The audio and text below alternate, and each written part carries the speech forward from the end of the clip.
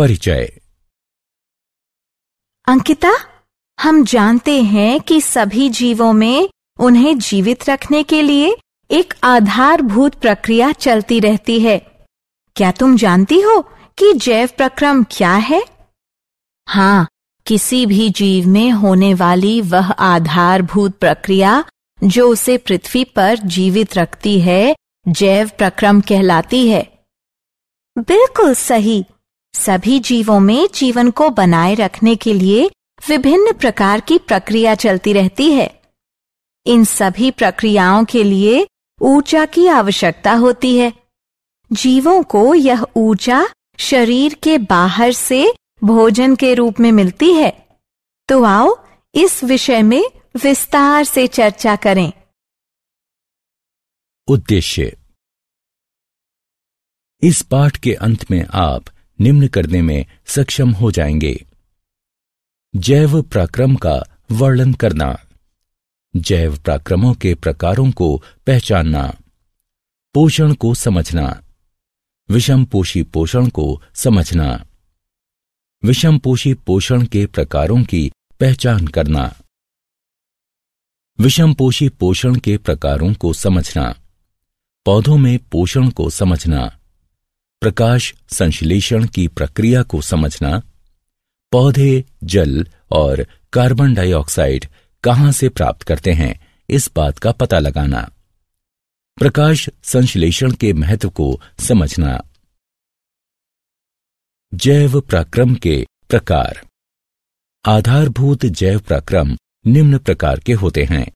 गति, श्वसन, संवेदनशीलता, वृद्धि, प्रजनन उत्सर्जन, पोषण और परिवहन। गति के दौरान जीव एक स्थान से दूसरे स्थान पर जाते हैं, अथवा एक ही जगह स्थिर रहते हुए अपने अंगों को गति प्रदान करते हैं। श्वसन वह प्रक्रिया है जिसमें शरीर द्वारा ग्रहण किए गए भोजन से ऊर्जा प्राप्त होती है। संवेदनशीलता अपने आसपास के वातावरण में परिवर्तन को महसूस कर सकने की क्षमता है। बच्चे से वयस्क होने को हम वृद्धि द्वारा परिभाषित कर सकते हैं।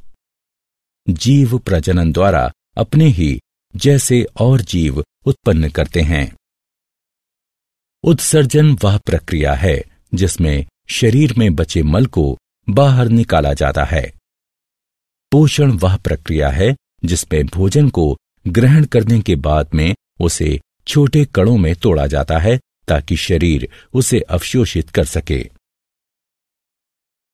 परिवहन वह प्रक्रिया है जिसमें शरीर के एक भाग में बना पदार्थ शरीर के दूसरे भागों तक पहुँचता है। पोषण। जैसा कि हम चर्चा कर चुके हैं, सभी जीवों में जीवन को बनाए रखने के लिए विभिन्न प्रकार की प्रक्रियाएँ चलती रहती हैं। इन सभी प्रक्रियाओं के लिए ऊर्जा की आवश्यकता होती है। जीवों को यह ऊर्जा शरीर के बाहर से भोजन के रूप में मिलती है। भोजन ग्रहण करने और उसको प्रयोग में लाने की प्रक्रिया को पोषण कहते हैं। भोजन एक कार्बनिक पदार्थ है। ग्लूकोज सबसे सरल और स्टार्च सबसे जटिल भोजन है। स्टार्च और ग्लूकोज को सम्मिलित रूप में कार्बोहाइड्रेट कहा जाता है। जब हमें तुरंत ऊर्जा की आवश्यकता हो तो हमें भोजन के रूप में कार्बोहाइड्रेट लेना चाहिए। कार्बोहाइड्रेट के अतिरिक्त भोजन में वसा, प्रोटीन, लवण, विटामिन तथा जल भी होना चाहिए। क्योंकि ये सभी जीवों की सामान्य वृद्धि और विकास के लिए अनिवार्य रूप से आवश्यक हैं। पोषण के साधन। किसी जीव द्वारा भोजन को प्राप्त करना उस जीव के पोषण का साधन होता है। तत्वों और ऊर्जा की सामान्य आवश्यकता सभी को होती है। लेकिन सभी में इसकी पूर्ति अलग अलग तरह से होती है। इसीलिए हर जीव के पोषण का ढंग अलग होता है। भोजन प्राप्त करने के ढंग के आधार पर जीवों को मुख्यतः दो समूहों में विभाजित किया गया है। स्वपोषी एवं विषमपोषी।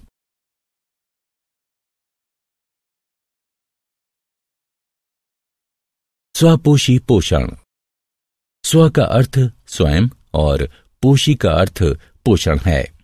अर्थात स्वपोषी का अर्थ है अपना पोषण स्वयं करना। स्वपोषी पोषण।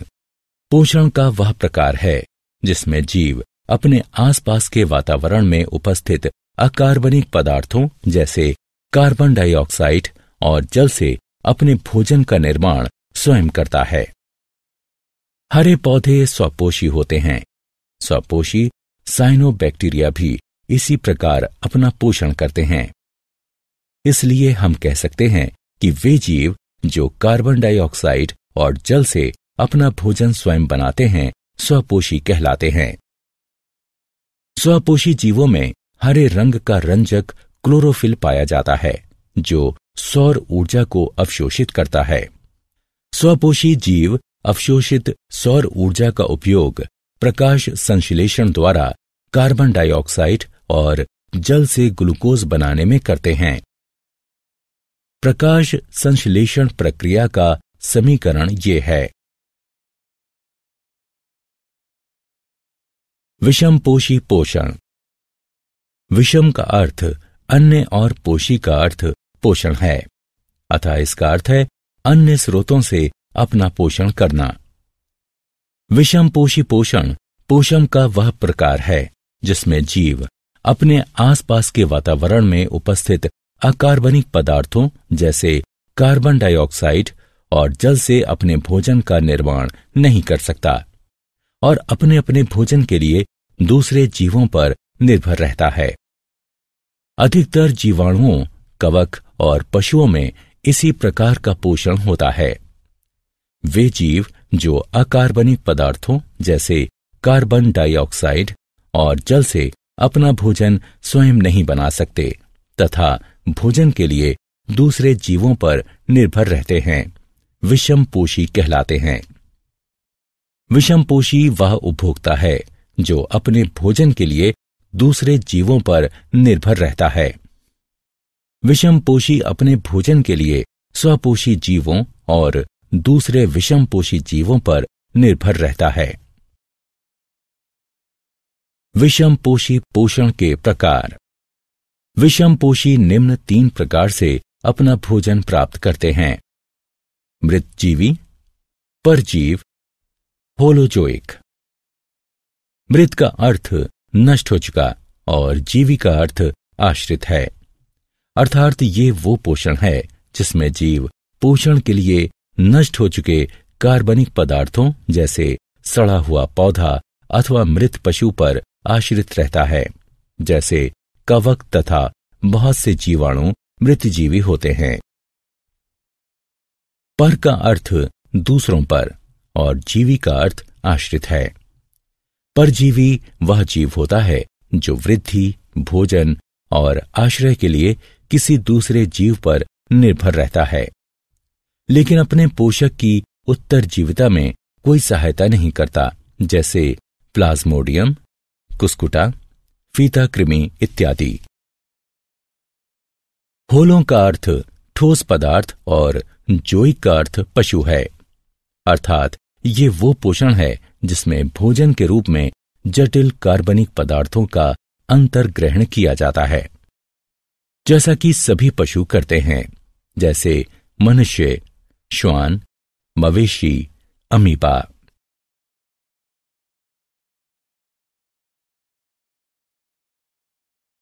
पौधों में पोषण। हम पहले ही चर्चा कर चुके हैं कि हरे पौधे स्वपोषी होते हैं और प्रकाश संश्लेषण द्वारा अपने भोजन का निर्माण करते हैं।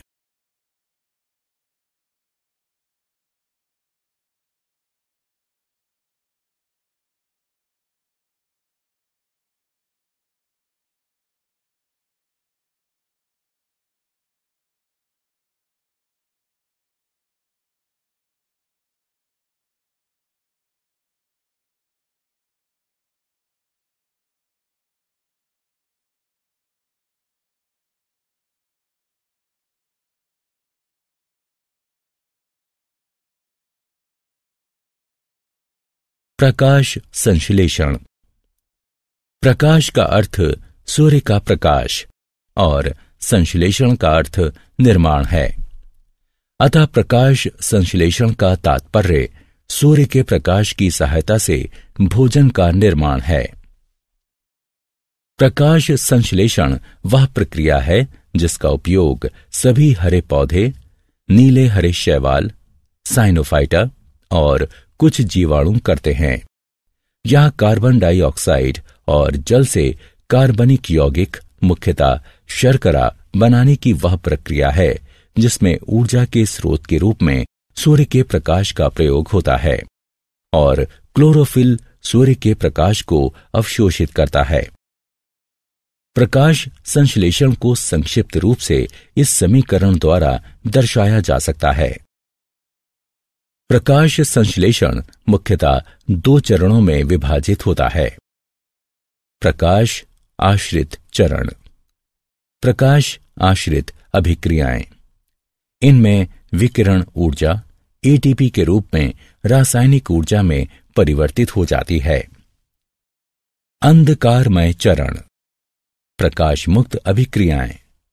प्रकाश आश्रित चरण में बनी एटीपी का उपयोग करते हुए एंजाइम संश्लेषण द्वारा मध्यवर्ती कार्बोहाइड्रेट और अन्य यौगिकों के निर्माण को निरूपित करता है। प्रकाश संश्लेषण की क्रिया निम्न तीन चरणों में घटित होती है। अवशोषण। क्लोरोफिल द्वारा सूर्य के प्रकाश से सौर ऊर्जा का अवशोषण। रूपांतरण। सौर ऊर्जा का रासायनिक ऊर्जा में परिवर्तन। सौर ऊर्जा द्वारा जल का हाइड्रोजन और ऑक्सीजन में टूटना। अपचयन। हाइड्रोजन द्वारा रासायनिक ऊर्जा का उपयोग करते हुए कार्बन डाइऑक्साइड का अपचयन करके ग्लूकोज जैसे कार्बोहाइड्रेट का निर्माण।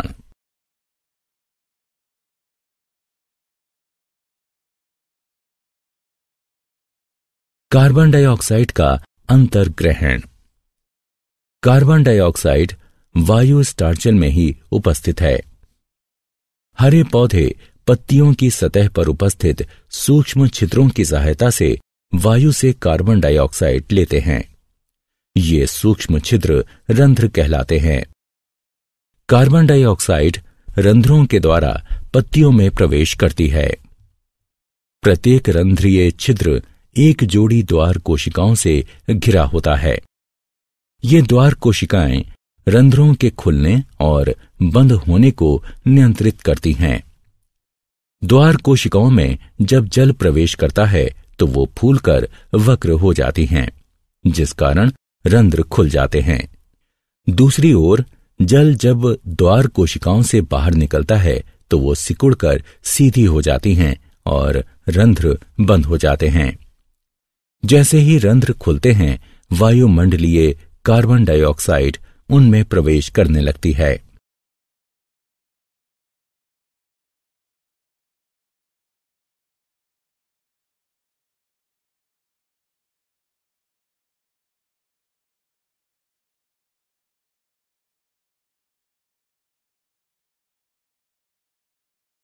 जल का अंतर्ग्रहण।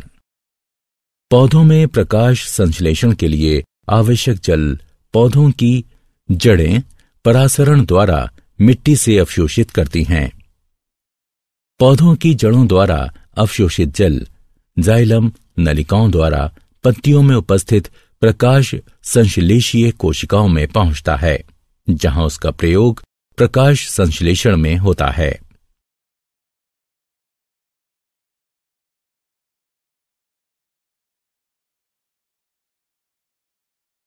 प्रकाश संश्लेषण का महत्व।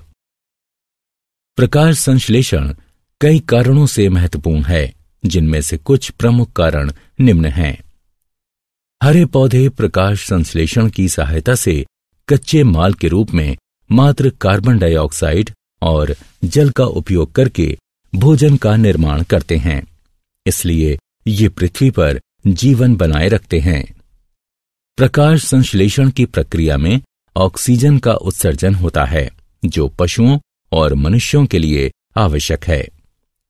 जीवाणुओं को भी श्वसन के लिए इसकी आवश्यकता पड़ती है। ईंधन के जलने में ऑक्सीजन की आवश्यकता पड़ती है। जीवाश्म ईंधन जैसे कोयला, तेल और प्राकृतिक गैस, ये सभी संरक्षित सौर ऊर्जा हैं, जो करोड़ों वर्ष पहले प्रकाश संश्लेषण द्वारा बनाए गए थे।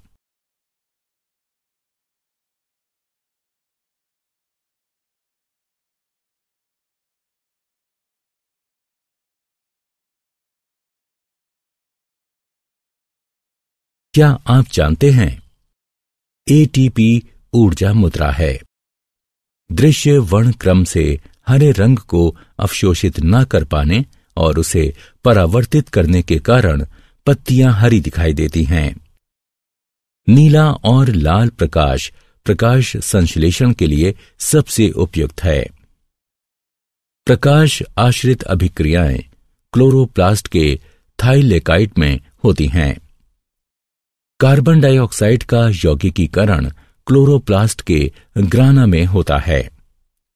प्रकाश ऊर्जा की छोटी छोटी थैलियों, जिन्हें फोटोन कहते हैं, इसके रूप में उत्सर्जित होता है।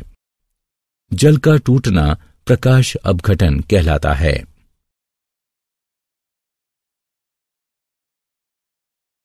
सारांश। आइए हमने जो कुछ सीखा है, उसे संक्षेप में दोहराएँ। जीवित रहने के लिए प्रत्येक जीव को विभिन्न ऊतकों की प्रत्येक कोशिका में ऑक्सीजन, जल तथा भोजन की आवश्यकता पड़ती है। जीवन को बनाए रखने के लिए अनिवार्य रूप से आवश्यक विभिन्न प्रक्रियाएँ जैव प्राक्रम कहलाती हैं।